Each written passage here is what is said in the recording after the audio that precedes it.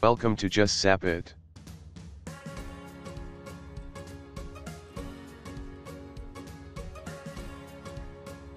In this tutorial video, we gonna learn the field symbols and data references. Field symbols and data references consists of 15 subcategories. Field symbols are placeholders or symbolic names for other fields. They do not physically reserve space for a field, but points to its contents. A field symbol can point to any data object. The data object to which a field symbol points is assigned to it after it has been declared in the program. There are two types of data references, known data references and unknown data references. Known data references, when we know clearly what data type we need to create in runtime, then we go for known data references. Unknown data references, when we don't know what data type that we need to create in runtime, then we go for unknown data references. Moving towards the first category, is full type specification, if you have full types specified, the technical attributes of the field symbols are determined. The technical attributes of the assigned data objects must match those of the field symbol. When you use a field symbol that is fully typed, you can address its attributes statically in the program, since they are recognized in the source code. If you fully specify the type of a field symbol as a reference or structured data object, you can address it as you would the data object itself, once you have assigned an object to it. The second category is, forcing structures. In forcing structures, field symbols are placeholders or symbolic names for other fields. They do not physically reserve space for a field, but point to its contents. A field symbol can point to any data object. The data object to which a field symbol points is assigned to it after it has been declared in the program. The third category is, Static assign. If field symbols are set using assign, permission to access the assigned data object is only checked at the position of the statement. The field symbol can then be passed on as required and used to access the assigned data object in any position.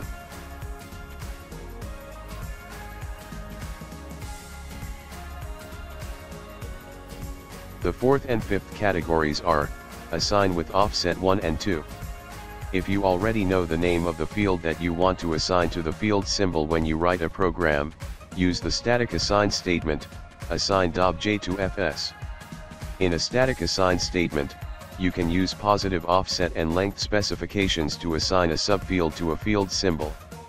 If you do not know the name of the field that you want to assign to the field symbol when you write a program, you can use a dynamic assign statement, assign, j, to fs. The sixth category is, Dynamic Assign 1. One entry is stored after another. When dynamic tables they're actually referring to a structure whose data elements has been created at runtime. A developer creates the structure and allocates a table. A table in ABAP takes on the structure of whatever data type has been assigned to it. The seventh category is, Dynamic Assigned to. Dynamic programming is the use of special programming constructs that enable you to use selected features of data and slash or operations at runtime that cannot, for various reasons, be determined at compile time. The eighth category is, assigning field symbols.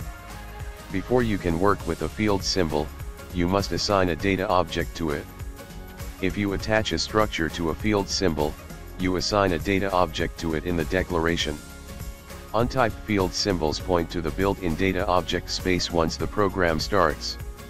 Space has type C and length 1.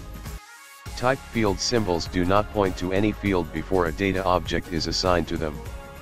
The ninth category is, assigning a structure by component. To assign one of its components comp to the field symbol fs. You can specify the component as a literal or a variable. If comp is of type C or a structure which has no internal tables as components, it specifies the name of the component.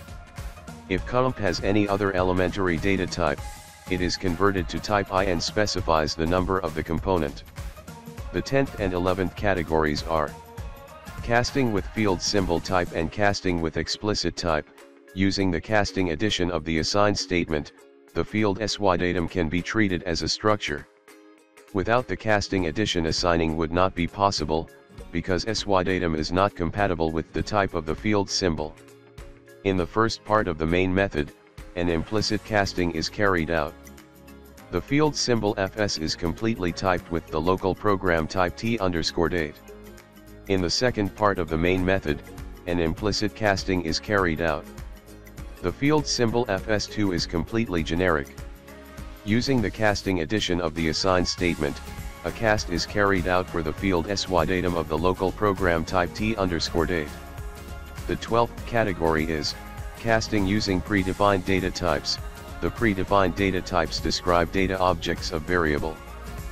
Further character-like data types with special properties are the predefined date. Expressions with the operators new and cast can be positioned directly.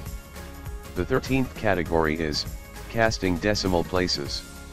The two fields of type C and D all have two decimal places. The field symbols FS are given one or four decimal places. The numeric values are different for the field symbols and the fields assigned to them.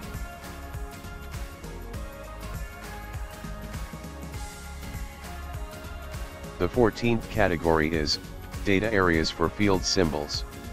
Oh you can only assign data objects from the data areas of the ABAP program to a field symbol. When you assign a data object to a field symbol, the system checks at runtime to ensure that no data is lost due to the field symbol addressing memory outside the data area. The data areas of an ABAP program are the table memory area for internal tables. The size of this storage area depends on the number of table lines. This is not a fixed value, it is determined dynamically at runtime. The data storage area for other data objects. The size of this storage area is fixed during the data declaration. Field symbols cannot point to addresses outside these areas. If you assign data objects to a field symbol and point to addresses outside these areas, a runtime error occurs. The last category is, data references. Data references can point to any data objects or to their parts, components, rows of internal tables, or sections specified by offsets and lengths. The static type of their reference variables is either the built-in generic type data or any non-generic data type. Data reference variables can be used with the instance operator new to create data objects statically and in the statement create data, to create data objects dynamically. The statement get reference and the reference operator ref can be used to write references to existing data objects in data reference variables. When internal tables are processed, most statements have the addition reference into, to set references to table rows. Thank you for watching this tutorial video.